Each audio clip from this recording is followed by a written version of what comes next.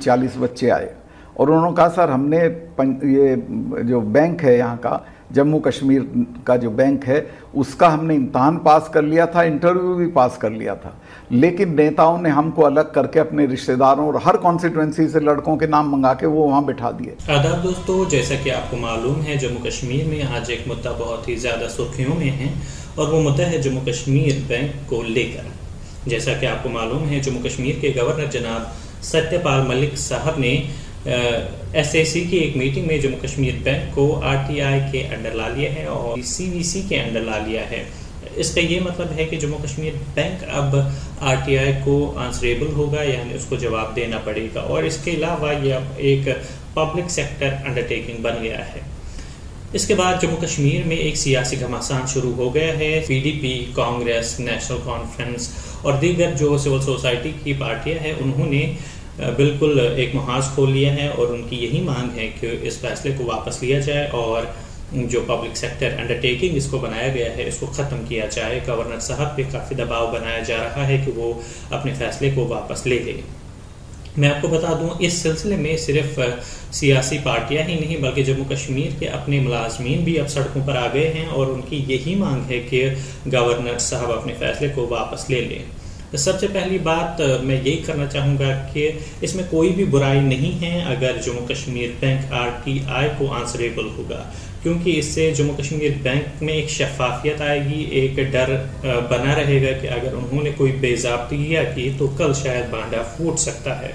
تو دوسری بات میں آپ کو یہ بتا دوں کہ جموں کشمیر بینک جیسا کہ ہم سب کو پتہ ہے کئی سالوں سے ایک شک کے دائرے میں ہے کہ اس میں بے ضابطگیاں ہو رہی ہیں اور کئی بار یہ شکایتیں بھی ہوئی ہیں کہ اس میں جو سیاسی پارٹیوں کے اپنے پولیٹیکل ورکرز ہیں رشتہ دار ہیں، ان کو نوکریاں دی گئی۔ یہ صرف لوگوں کا شک نہیں ہے، بلکہ جموں کشمیر کے گورنر ستیہ پال ملک نے خود اس بات کا اعتراف کیا، انہوں نے ایکسپٹ کیا کہ جموں کشمیر بینک میں بے کیا ہوئی ہے اور انہوں نے بالکل یہ صاف کر دیا کہ جموں کشمیر میں کوئی ساڑھے پانچ سو کے قریب جو اسامیاں پر کرنی تھی، جو نہیں ہو پائی، کیونکہ جو لسٹ بنایا گیا تھا، اس کو بالکل بالائے طاق رکھ کر جو ڈیزرونگ کینڈیڈیٹس تھے، ان کو ہٹا کر سیاسی پارٹیوں کے ورکروں، رشتہ داروں کو وہاں پہ نوکریاں دے دی گئی۔ اس میں پی ڈی پی، بی جے پی سب لوگ شامل ہیں اور حالانکہ تب پی ڈی پی اور بی جے پی کی ہی حکومت تھی۔ اور اگر آپ کو یاد ہوگا کہ جب اسمبلی سیشن تھا تو نیشنل کانفرنس کے ممبران نے اسمبلی میں اس بات کو لے کر کافی ہنگامہ بھی کیا تھا اور انہوں نے یہ تک کہا تھا کہ جموں کشمیر بینک اب ماما بانجے کا بینک بن گیا ہے اور مجھے بالکل اچھی طرح سے یاد ہے کہ این سی کے صدر عمر عبداللہ نے کہا تھا کہ اس میں تحقیقات ہونی چاہیے۔ انہوں نے بالکل اپنے ایک خطاب میں جو اپوزیشن کے وہ رہنما تھے، انہوں نے اپنے ایک خصوصی کتاب میں بالکل اس بات کو ایکسیپٹ کیا تھا کہ ان کے پاس رپورٹس آئی ہے کہ جموں کشمیر بھر میں بے ضابطگیاں ہو رہی ہے۔ یہاں پہ اب بات یہ ہے کہ ایون جو عام لوگ ہیں وہ بھی اس بات کو قبول کرتے ہیں۔ جموں کشمیر بینک میں بے گیا ہوئی ہیں اور جو وہاں کے امپلائز ہیں ان کا رویہ بھی کچھ ٹھیک نہیں ہے۔ اور جو ان کا رویہ جموں کشمیر کے اپنے باشندوں کی طرف ہے وہ بھی کچھ صحیح نہیں ہے۔ حالانکہ جموں کشمیر بینک کا جو لون ہے وہ باہر کے لوگوں کو تو دیتے ہیں ادر اسٹیٹس کے لوگوں کو تو دیتے ہیں، لیکن اپنے جو لوگ ہیں، ان میں بالکل وہ ہچکچاتے ہیں۔ حالانکہ مہل چوک سے جو ہزاروں کروڑ لے کے بعد گیا، وہ جموں کشمیر بینک کے بھی ڈیڑھ سو کروڑ لے کے فر ہو گیا ہے۔ یہاں پہ میں اب ایک اہم مدعے پہ آنا چاہتا ہوں کہ وہ لوگ جیسے نیشنل کانفرنس ہے، پی ڈی پی ہے، یہ جو آج ہلّا گلا کر رہے ہیں کہ جموں کشمیر بینک جو ہے، اس اس کی خود مختاری اس کی جو ایک آٹونمی تھی، وہ ختم کی جا رہی ہے، کیونکہ گورنر صاحب کا یہ فیصلہ آیا ہے۔ حالانکہ میں سمجھتا ہوں کہ گورنر صاحب کا یہ فیصلہ اتنا خطرناک نہیں ہے، کیونکہ گورنر صاحب نے ایک فیصلہ لیا کہ یہ آنسریبل ہو لوگوں کو آر ٹی آئی کے تھرو اور یہ پی ایس یو بنایا گیا۔ حالانکہ پی ایس یو کے جموں کشمیر میں حالت ابھی ٹھیک نہیں ہے، جموں کشمیر سیمنٹس ہیں یا Jammu Kashmir S R T C ہے، وہ بالکل خستہ ہو چکے ہیں۔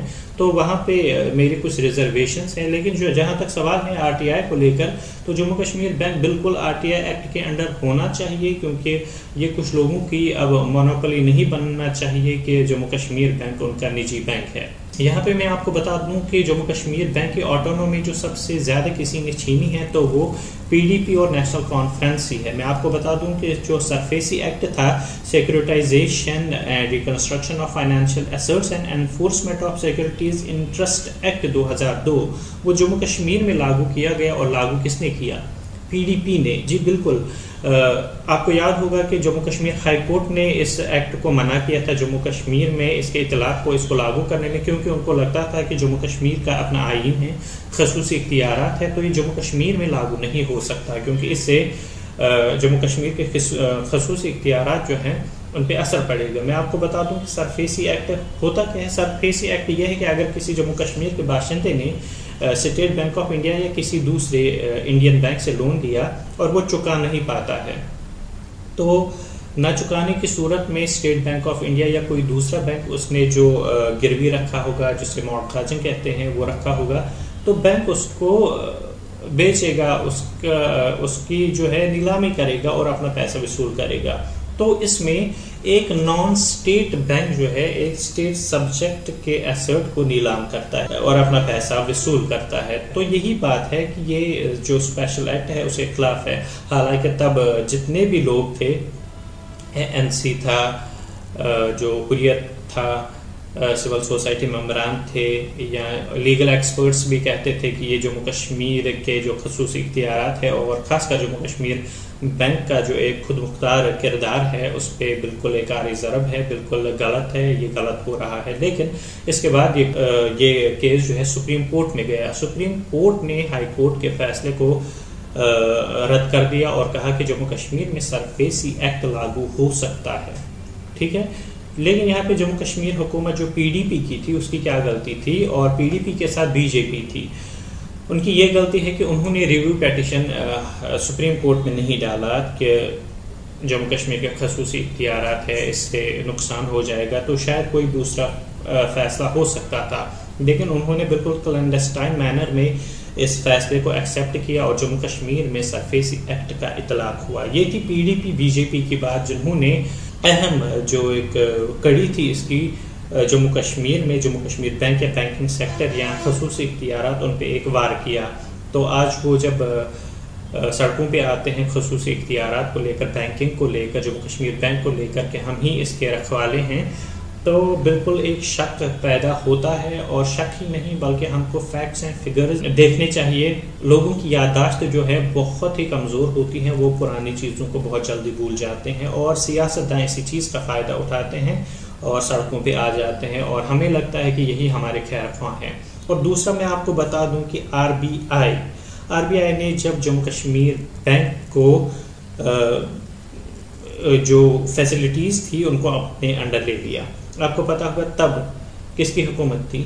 نیشنل کانفرنس کی حکومت تھی اور جو سول لینڈر ہوتا تھا جموں کشمیر بینک، ریاست کا۔ اور ریاست میں آپ کو ایک سمجھا دوں کہ آر بی آئی نے کیا کیا۔ جموں کشمیر میں جو فنڈس آتے ہیں سینٹر سے ان میں کچھ ٹائم لگتا ہے، کچھ وجوہات کی بنا پر اسٹیٹ میں آنے کے لیے۔ تو تب تک اسٹیٹ گورنمنٹ کیا کرتی تھی؟ وہ جموں کشمیر بینک سے کچھ پیسے لیتی تھی۔ اور بعد میں جب سینٹر سے پیسہ آتا تھا، یہ بینک کو دے دیتے تھے وتھ انٹرسٹ تو ایک بیلنس بنایا جا رہا تھا۔ پھر وہ ختم کیا گیا اور جموں کشمیر بینک کو جو ہے پورا اس کے حوالے کر دیا گیا۔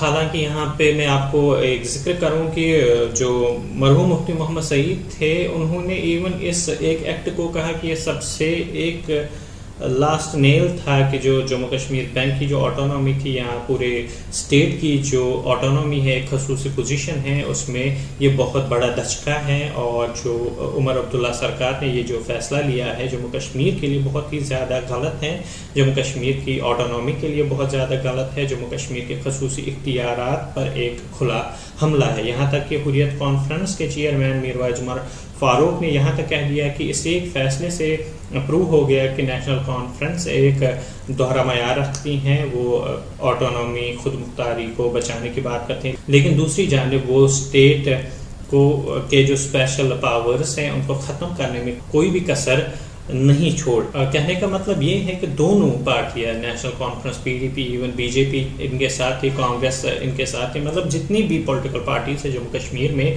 یہ صرف سیاست کر رہی ہیں۔ اور کچھ بھی نہیں، حالانکہ انہوں نے اپنے دور اقتدار میں جموں کشمیر کے جو خصوصی اختیارات ہیں اور جو خصوصی پوزیشن ہے جموں کشمیر کی، چاہے وہ کوئی بھی انسٹیٹیوشن ہو، اس کو پامال کرنے میں، اس کو ختم کرنے میں کوئی بھی کسر نہیں چھوڑی۔ یہ تب بالکل دلی کے ملازموں کی طرف کام کرتے ہیں۔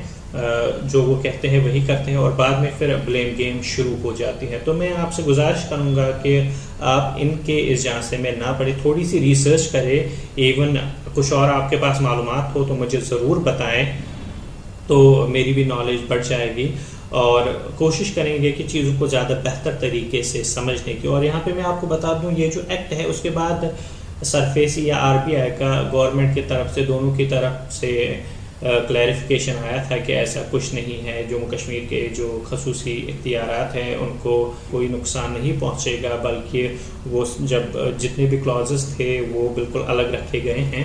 اور جو سرفیسی ایکٹ کے تحت جو نیلامی ہونی ہے چیزوں کی، وہ صرف اسٹیٹ سبجیکٹ ہی خرید سکتا ہے۔ لیکن ایک بہت ہی امپورٹنٹ بات ہے ایکٹ آ گیا جموں کشمیر۔ پورے جتنے بھی حربے ہوتے ہیں اپنے سیاسی مفادات کے لیے ہوتے ہیں، اس کے علاوہ اس کا کوئی مقصد نہیں ہوتا ہے۔ اور میں امید کرتا ہوں لوگ اس چیز کو سمجھے اور جو جموں کشمیر کے گورنر ہے ستیہ پال ملک، انہوں نے جو فیصلہ لیا ہے، اس پہ تھوڑا سنجیدگی سے سوچے اور دیکھے کہ کیا یہ ہمارے حق میں ہے یا ہمارے حق میں نہیں ہے۔ یہ سب آپ پہ ہی ڈپینڈ کرتا ہے۔ کوئی سجیشن نہیں ہے، کوئی رائے نہیں ہے۔ جو لوگ چاہتے ہیں وہی ہونا چاہیے۔ حالانکہ میرے پرسنل رائے یہ ہے کہ جموں کشمیر بینک میں بالکل ایک ٹرانسپیرنسی ہونی چاہیے، شفافیت ہونی چاہیے، کیونکہ جموں کشمیر بینک جیسا سب کو پتا ہے کس چیز کا ہب بنا ہوا ہے، تو شاید اس میں کمی آ جائے۔ تو فی الحال ابھی اس ٹاپک پہ اتنا ہی۔ تو کسی اور ٹاپک پہ لے کر میں آپ کے ساتھ دوبارہ ضرور ملاقات کروں گا۔ تب تک کے لیے اللہ حافظ۔